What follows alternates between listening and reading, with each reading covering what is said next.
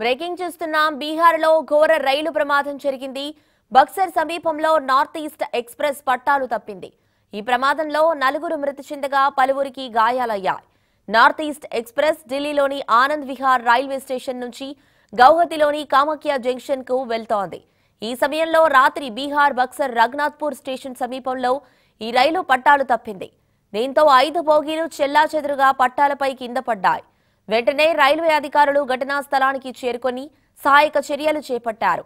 రైలు పట్టాలు తప్పడానికి గల కారణాలను అడిగి తెలుసుకుంటున్నారు.